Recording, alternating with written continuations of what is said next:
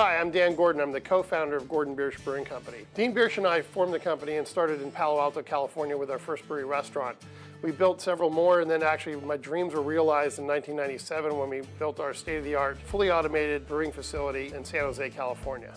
The neat thing is, is that we've dedicated ourselves towards brewing heritage-style German beers, but applying modern technology and running a 24-7 operation, using all the bells and whistles that we can to make sure that our beer is consistent and incredibly fresh tasting at all times. I was very fortunate to have traveled to, uh, to Germany when I was a, a, kid. My parents took me over and were contemporary enough to allow me to, to sample the beer at the early age of 11. When I was 15, I actually loved the German beers and the Austrian beers.